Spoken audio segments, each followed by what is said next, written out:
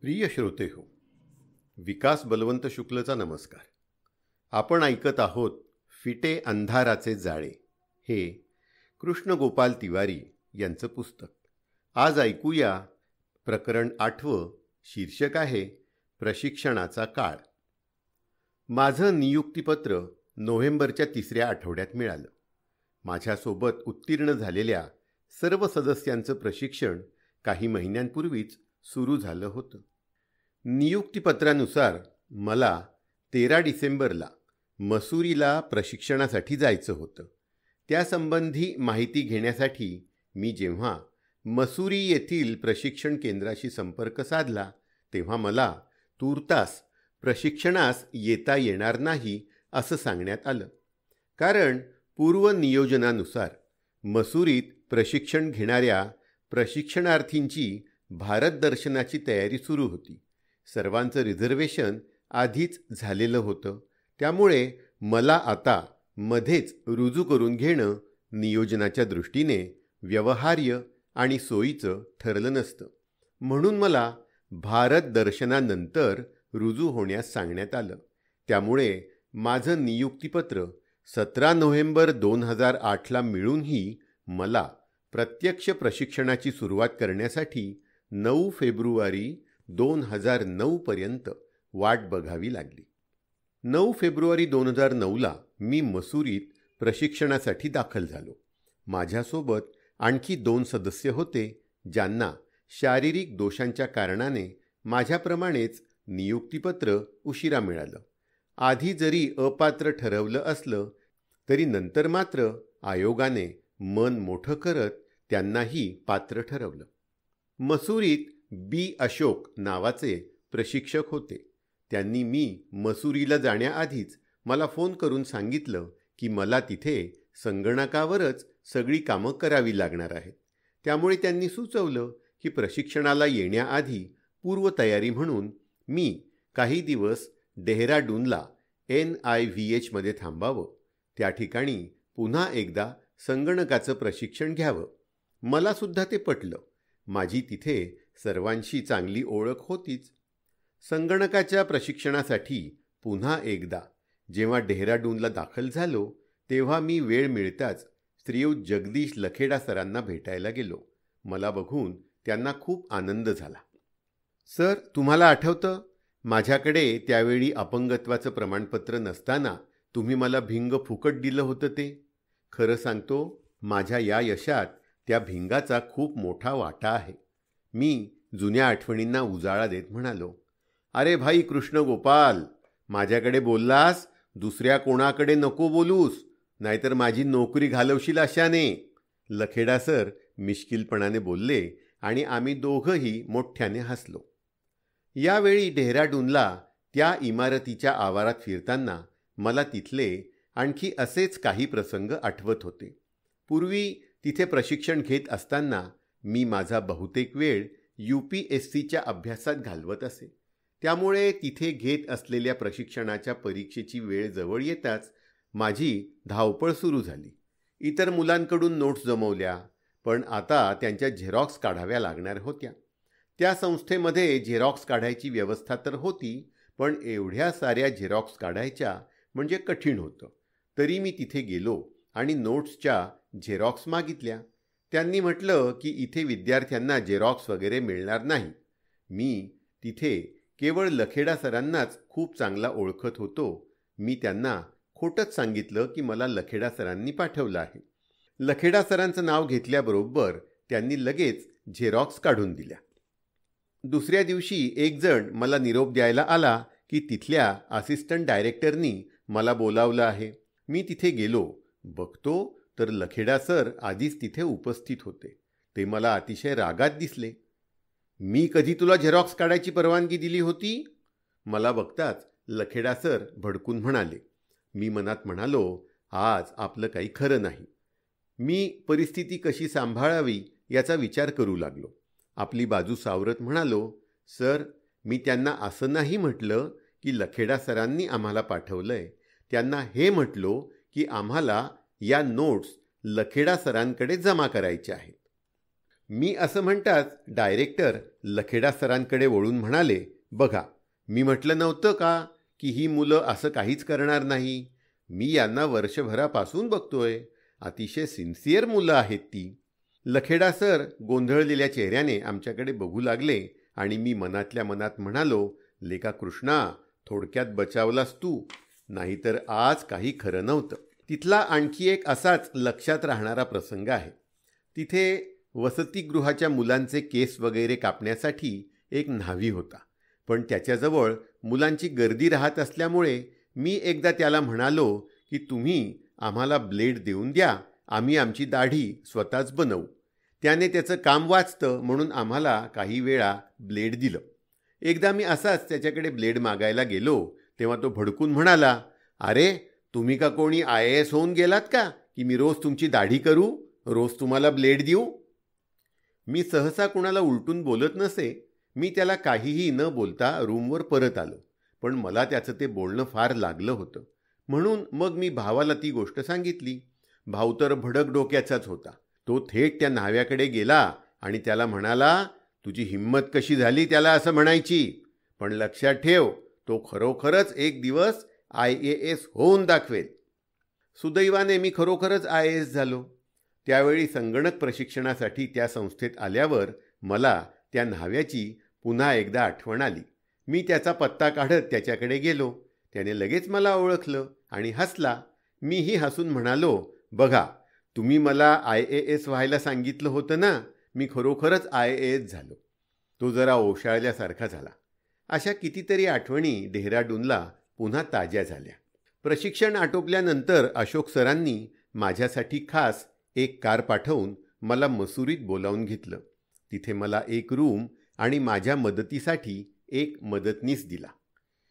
मसुरीत माझं प्रशिक्षण सुरू झालं. तो माझा नवा जन्मच होता. मी उशिरा रुजू झाल्याने तिथल्या वातावरणाशी जुळवून घ्यायला थोडा वेळ लागला. मात्र चालून आलेली कोणतीही संधी मी सोडत नसे. मला वाटायचं आपण जे काही करणार ते शंभर टक्के केलं पाहिजे.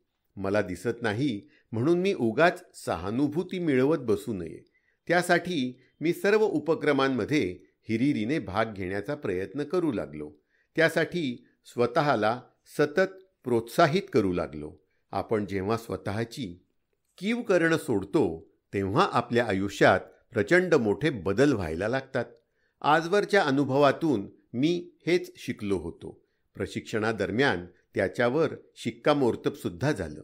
त्यामुळे स्वतःला दुबळा असहाय्य न समजता मी केवळ बौद्धिकच नाही तर शारीरिक कसरती कवायत व्यायाम योगा हॉर्स रायडिंग यासारख्या खेळांमध्येही सर्वसामान्य प्रशिक्षणार्थ्याच्या उत्साहाने भाग घेत असे. मला सिद्ध करायचं होतं की मी इतर कोणाहीपेक्षा कुठेच कमी नाही. आणि हे मला इतरांना नव्हे तर स्वतःला सांगायचं होतं. प्रशिक्षणादरम्यान सुरुवातीला मला बऱ्याच अडचणी येत होत्या कारण माझ्या प्रशिक्षणाला उशिरा सुरुवात झाल्यामुळे अनेक गोष्टींपासून मी वंचित राहिलो होतो. त्यामुळे रोजच्या नियमित उपक्रमांसोबतच मला मी प्रशिक्षणाला येण्याआधी झालेला अभ्यासक्रमसुद्धा पूर्ण करायचा होता. मात्र भारत दर्शनापासून मला वंचित राहावं लागलं ही सल मनात राहिली. कारण त्या प्रवासात मला खूप काही शिकता आलं असतं. या प्रशिक्षणादरम्यान बी पी एस टी म्हणजे bureau of parliamentary study and training नावाचा एक अभ्यासक्रम असतो. त्यात एका आठवड्यासाठी संसदेत जाऊन तिथल्या कामकाजाचं प्रशिक्षण आणि अनुभव दिला जातो. तिथे राष्ट्रपती पंतप्रधान यांच्यासह अन्य मंत्री आणि अतिमहत्त्वाच्या व्यक्तींना भेटण्याची संधी मिळते. देशाचा कारभार कसा चालतो याची कल्पना येते. मला व्यक्तिशः या अभ्यासक्रमाचा खूपच फायदा झाला. माझा आत्मविश्वास कमालीचा वाढला. या ठिकाणी विविध मान्यवरांची भाषणं होतात. त्यांनी साधलेल्या संवादानंतर आमच्यापैकी कुणाला तरी त्यांच्या आभाराचं भाषण करण्याची प्रथा आहे. ब्युरोक्रसीमध्ये कॅबिनेट सेक्रेटरी हे पद सर्वात मोठं मानलं जातं. कॅबिनेट सेक्रेटरीच्या भाषणानंतर बी. अशोक सरांनी आमच्यापैकी एकाला आभाराचं भाषण ज्याला इंग्रजीत वोट ऑफ थँक्स म्हणतात हे करायला सांगितलं. त्या ठिकाणी आभाराचं भाषण करायला मिळणं हा एक मोठा सन्मान समजला जातो. दुसऱ्या दिवशी रात्री बी. अशोक सर माझ्याकडे आले आणि उद्या माननीय पंतप्रधानांचं भाषण असून मला वोट ऑफ थँक्स करण्याचं त्यांनी सांगितलं. सरांचा माझ्यावरचा विश्वास बघून मला फार आनंद झाला. ही माझ्यासाठी एक खूप मोठी संधी होती. पण आभाराचं भाषण म्हणजे गंमत नसते. एकतर तुमच्यासमोर देश चालवणाऱ्या संस्थेचे सर्वात मोठे पदाधिकारी असतात. दुसरं म्हणजे भाषण संक्षिप्त पण प्रभावी असलं पाहिजे. एकीकडे मी खूप आनंदी होतो तर दुसरीकडे भीतीही वाटत होती. आजपर्यंत मी कधीही व्यासपीठावर जाऊन भाषण केलं नव्हतं. मी माझ्या एका सहकार्याला मी काय बोलायला हवं? असं विचारलं. त्याने मला काही मुद्दे सुचवले. दुसऱ्या दिवशी माननीय पंतप्रधानांच्या भाषणानंतर मला वोट ऑफ थँक्ससाठी बोलवण्यात आलं. माझा मित्र संजय याने मला माईकपर्यंत जाण्यासाठी मदत केली. त्यानंतर मी माननीय पंतप्रधानांच्या आभाराचं भाषण केलं. भाषण अतिशय संक्षिप्त होतं पण तरीही त्यातल्या दोन तीन वाक्यांवर टाळ्यांचा कडकडाट झाला. माझं आभाराचं भाषण छान झालं. मला स्वतःलाही ते आवडलं. त्या संपूर्ण भाषणात मी तयारी केलेला सर्व भाग विसरून गेल्याने मला जे सुचत गेलं तेच मी बोललो. माझ्या मनातल्या त्या प्रांजळ भावना होत्या. कदाचित त्यामुळेच सर्वांना माझं छोटेखानी भाषण आवडलं असावं. माझे सर्व सहकारी विशेषत बी. अशोक सर माझ्यावर प्रचंड खुश होते. प्रत्येकाने जवळ येऊन माझं अभिनंदन केलं. त्यानंतर आम्हा सर्वांची पंतप्रधानांची भेट झाली. त्यांच्याशी हात मिळवताना मी त्यांना म्हणालो सर माझ्या नियुक्तीसाठी आपल्या पी एम ओची मला खूप मदत झाली. त्यासाठी मी आपला खूप ऋणी आहे.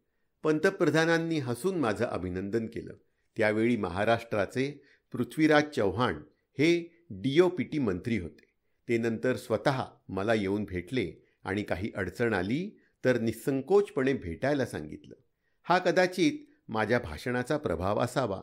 मी केलेल्या त्या आभार प्रदर्शनाचा उल्लेख अजूनही मसुरीच्या ट्रेनिंग अकादमीमध्ये होतो असं मी ऐकलंय.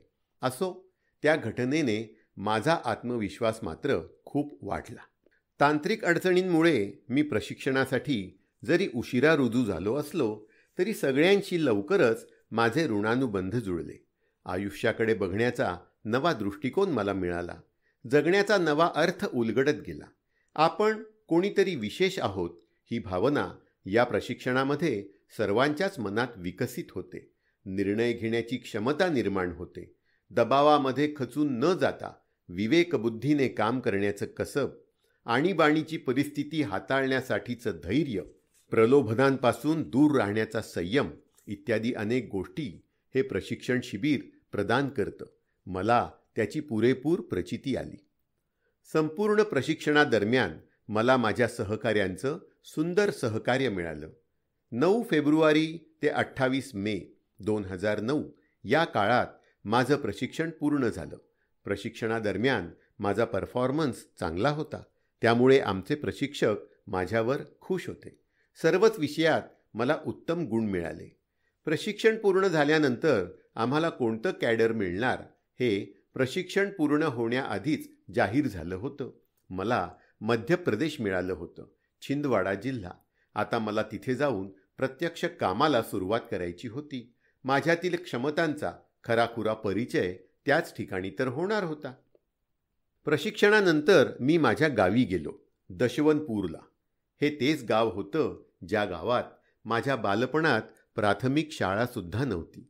डोळ्यांचा आजार जडल्यामुळे भविष्याच्या चिंतेने मी याच गावात अनेक दिवस बेचैन होऊन काढले होते. मी स्वतःचं तरी पोट भरू शकेल का अशी चिंता माझ्या पालकांना होती. एक अत्यंत सामान्य नव्हे तर ढ विद्यार्थी अशी माझी कधी काळी ओळख असलेल्या माझ्या गावात यावेळी येताना मला खूप प्रसन्न वाटत होतं. माझी दृष्टी गेली तरी माझ्याकडे बघण्याची गावकऱ्यांची दृष्टी आता पूर्णपणे बदलली होती.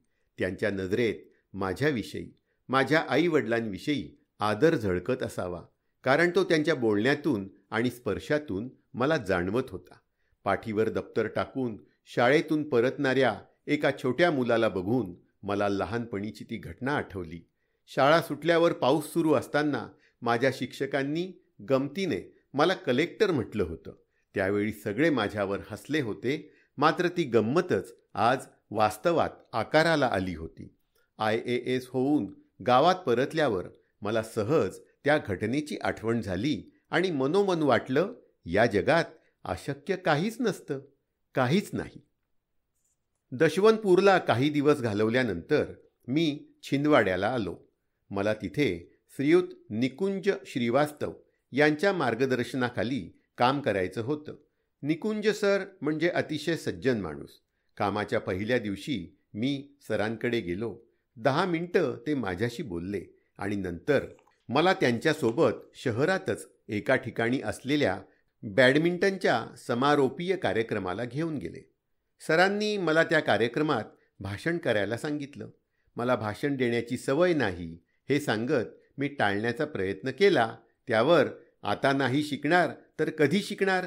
असं म्हणत मला भाषण द्यायला लावलंच.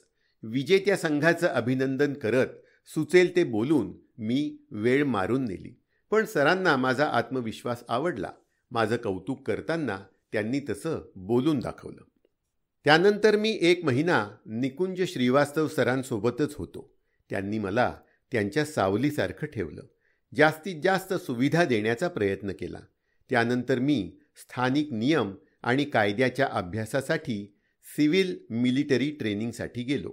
तिथेही मला डॉक्टर संदीप खन्ना यांच्यासारखी अत्यंत चांगली व्यक्ती मार्गदर्शक म्हणून लाभली. खन्ना सर पूर्वी सामाजिक न्याय विभागात ॲडिशनल सेक्रेटरी होते. त्यांनी मला खूप सहकार्य केलं. कोणतीही नवीन गोष्ट शिकताना मला खूप आनंद होतो. शिकण्यातल्या आनंदामुळेच मी संबंधित विषयाशी एकाग्र होत लवकरात लवकर तो आत्मसात करण्याचा प्रयत्न करू शकतो. म्हणूनच संदीप खन्ना सरांच्या मनात मी स्थान मिळवू शकलो. प्रशिक्षण संपवून मी पुन्हा छिंदवाड्याला श्रीवास्तव सरांकडे परत आलो.